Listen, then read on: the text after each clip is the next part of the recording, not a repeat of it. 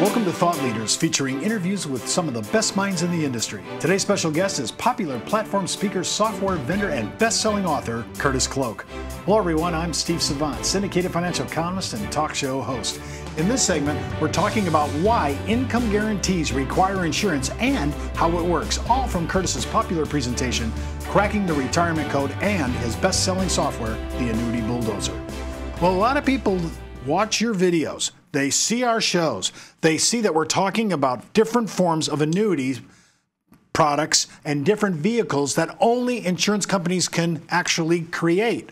And people say, well, why can't the security guys do this? Why can't regular bond portfolios make this happen? So there's a little bit of, of, of, truth to this. But then people say, well, every time I go to guarantees, I lose the possibility of really making a return because mm-hmm. it's so low.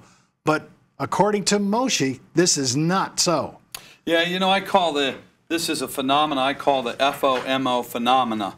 It's the fear of missing out. And what's hard for people to fathom or believe until they actually see the math. That it's possible to take the risk off the table while bringing in some insurance guarantees without giving up performance. And that is mm. certainly not something that's routinely thought to be true or even possible.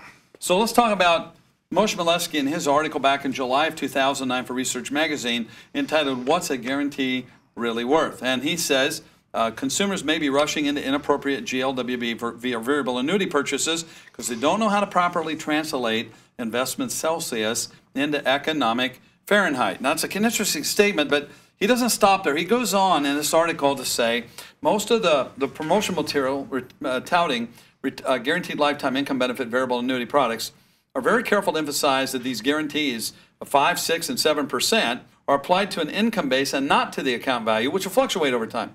However, I can attest that few people understand how to calculate the implied return on these products and convert it into a number comparable to interest rates in a bank account or investment returns on a mutual fund. Mm-hmm. Instead, the marketing material speaks the language of investment Celsius to human beings who are hardwired to understand economic Fahrenheit. See, the numbers sound similar, but the scales are completely different. And he goes on to talk about the purpose of this article. And so, what we really have are th three basic products that they're available for new sales today to bring insurance guarantees in into the game. And now, now before you get into that, though, let's talk about this because I think our industry uses industrial language at the Celsius language area, the, that dialogue, that kind of dialectic way of explaining things. And then the consumers are normal people. I, I, just know Fahrenheit. How many people in America go, hey, what's the Celsius degree today? You know, they don't think that way, right? So if I go to you and I say it's freezing here, do I mean 32 or do I mean zero? And by the way, the only point where Celsius and Fahrenheit meet in the same number is 40 below. Now think about one time when you're frozen. Yeah. Yeah. Well, walk us through this because I think we are misspeaking. I think we're talking one way and the consumer's hearing and talking another way. So understand that, and I'm going to focus just a minute on the GLWB product. I'm going to focus on you know, the, the variable annuity um, uh, type of, of guaranteed level draw benefit. And the reality is we have a lot of different numbers that relate to the word rate that we understand because the material, the prospectus, the brochures are all providing to us a compliant set of materials, no doubt about that. But because the consumer, when they hear the word rate, anecdotally considers that to be rate of return or has to do with uh, money that's applicable to their growth of their portfolio. But when we start talking about roll-up rates for GLWB, mm-hmm. that has mm-hmm. nothing to do with performance of the actual underlying asset whatsoever. So there's one rate, and we, we talk about withdrawal rates. Again, another rate has nothing to do with performance of the underlying asset. In fact, the roll-up rate means nothing other than a formula to determine an income guarantee, or what I like to call the right of consumption, until we know what the distribute, what the withdrawal rate is. So the, it's a combination of the roll-up rate in combination with the with the withdrawal rate that determines what pace I can consume my own money. That if I do run out of money with longevity and duration, that I don't run out of income because I'm putting an insurance company on the hook of those guarantees. Now, I just want to make sure we're all talking the same Celsius Fahrenheit here.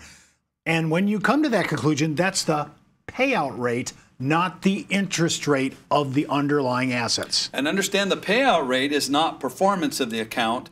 Payout rate is the cannibalization or the um, the, the, the, the consumption of the client's own account value. Mm-hmm. It's not performance at all. It simply says that while you have money in the account, you're consuming your money, but you have a right to take this much. And as long as you don't go over this much, mm-hmm.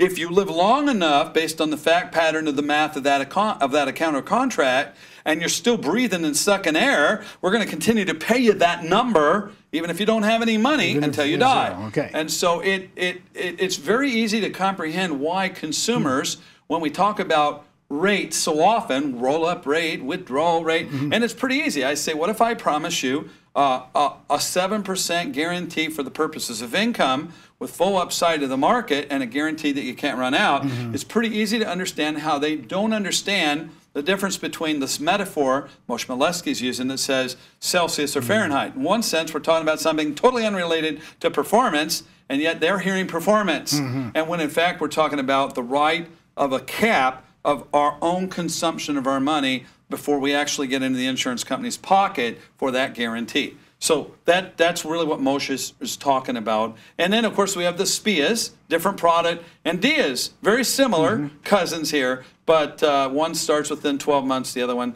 doesn't start till after 13 months and could be delayed as much as 40, 50 years. And those are our products today. We have to have an insurance guarantee issued by an insurance mm-hmm. company to mitigate some sort of an, an income guarantee. We can't do stocks, bonds, mutual funds, real estate investment trusts. Only we just insurance can't do products. It. Has to be an insurance product. And we have to talk the right way. Yes. Payout rate, interest rate. Unbelievable. Well, for more information on how you can use Curtis's revolutionary retirement strategy with your clients and prospects to expand your practice, just click on the landing page address in the video description. We'll be right back with more from Curtis Cloke. A solid web presence has never been more important to the success of your business. Introducing Agent Website Creator, provided by CreativeOne. Through Agent Website Creator, you can create your own personalized website and have it up and running easily with zero knowledge of programming. Choose from several designs with easy drag and drop customization. Get proven lead generation offers, professionally written articles, and helpful financial calculators. Plus, the ability to embed videos, integrate your social media, and more. Update your website anytime and show the world within minutes. The best part? It's hosted for free. To learn more about Agent Website Creator, call your CreativeOne sales team at 800 992 2642 or visit us online at creativeone.com. In this segment, we're talking about why income guarantees require insurance and how guarantees support the right of consumption during retirement. All from Curtis's popular presentation, cracking their retirement code, and his best selling software, the Annuity Bulldozer. Well, let's get into the weeds a little bit here, Curtis. I, I want to take this basic premise of why we can consume under these new ideas using insurance products like annuities, and we can kind of free ourselves from this. I, I, I think years ago, our generation before us did not have the freedom to consume their assets. They always had to make sure, oh, am I going to make it? They're going to have to do their timelines. I want you to walk us through, we're using a variable annuity uh, example in this. I want you to walk us through the mechanics of this and why we, with what we're going to show as a solution to this, can be your new right. I want to give a new right away, new privilege, a new right in retirement to consume your assets. So I'm going to talk about a chart that we actually used in the RICP curriculum on the retirement income floor, guaranteed income, retirement income floor segment, the 354, with David Littell and myself uh, in that uh, in those studio events. And this is also an article was published, I think, in 2011 in the Journal Financial Planning, uh, article titled "Measuring the Value of a GLWB." And back in those days, we actually had a very popular variable annuity that had a seven percent compounded, compounded. roll-up. Now we don't have uh, really any of those. Those uh, days are done. Those days are probably gone. And I wanted this to be the best example mm-hmm. of the best of times, and mm-hmm. so that's what this math and science really does represent. So let's just walk through a 55-year-old client who's got a half million dollars, and they've got 10 years of time to let that thing uh, grow and roll up before they actually need to turn on income. So we have to know a few things. First of all, how are we going to roll that up? It's a 7% compounded. So 500,000 uh, going for 10 years causes the what we call the, the Celsius. We're back to Moshe Milevsky's Moshe mm article about Celsius and Fahrenheit. And in his article for Research Magazine, when he was talking about the Celsius, that's the Celsius. In other words, mm-hmm. what's that 983 mean? Really means nothing. It's a formula base that says, mm-hmm. what is my right of consumption? How much income guarantee can I get? So once I know what the Celsius is, and that, that's the terminology I'll use here, I now need to know what the distribution rate is when I turn it on. It's 5%. That's what the withdrawal rate was. And when I take that number uh, by the 5% withdrawal rate, that's what allow, allows me to do the math on the lifetime income guarantee, but we're going to call it for this, uh, for this show the right of consumption. Why do I call it that? Because mathematically, that is how it actually works. So let's, let's further the conversation. This is the GLWB base with the Celsius. The one on the right here is the lifetime income stream and the lifetime income amount of 49,179 called the rate of consumption. So we're going to talk about this annuity account value. How does it work? Put half a million dollars in, and I'm going to make an assumption that are going to average 7%. Don't know how likely that is given all the things we've talked about with Thornburg investment, real returns, and all that. But let's just use seven because nobody argues when I use seven. I'm going to assume a fee drag of 3.5%. That represents the asset allocation fee, the M&E charge of the variable annuity, and the income rider fee for the guarantees that exist for the income right of consumption. When I take that 500,000, 7% gross minus the fee drag, I want you to see that the Fahrenheit, the actual count value, is 705. Now, I get to see all the components at play.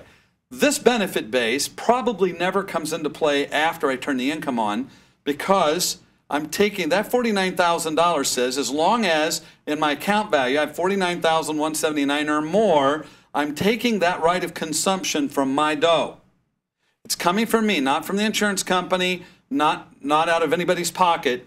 And if at some point I live long enough taking my money, this right of consumption, my money actually runs out and I'm still alive, then the insurance company reaches into their reserves out of their pocket and they continue to pay that guarantee of 49179 even with no account value in there and that's the benefit of the guarantee. So these are the real the, the, the right of consumption and the Celsius and the Fahrenheit that Moshe Milevsky is really, really talking about. And one last point, I might say, interestingly enough, he was talking about the implied value of that. So if I took that $500,000, put it in a bank CD, held it for 10 years, and then wrote myself a check out of that CD for 49,179, like that right of consumption, died 20 years or 20 payments later with zero money in the in the CD, what if I back tested the rate of return would that CD have to perform at as an implied yield? 3.6. What that 7% compounded rate is worth is really 3.6 in this math.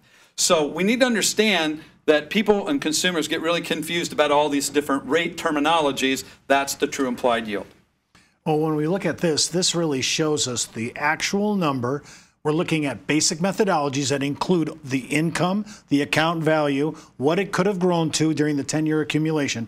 That to me is a startler. I think most consumers would look at this number and say, I thought I was getting seven with a guarantee for my income, but my actual rate of return was only 3.6. Well, for more information on how you can use Curtis's revolutionary retirement strategies with your clients, to build out your own business, just click on the landing page address in the video description. And for more information on all our shows, seminars, and workshops, just follow us on social media or visit us out on our website. I'm Steve Savant. We'll see you next time on Thought Leaders. And remember, keep thinking outside the box.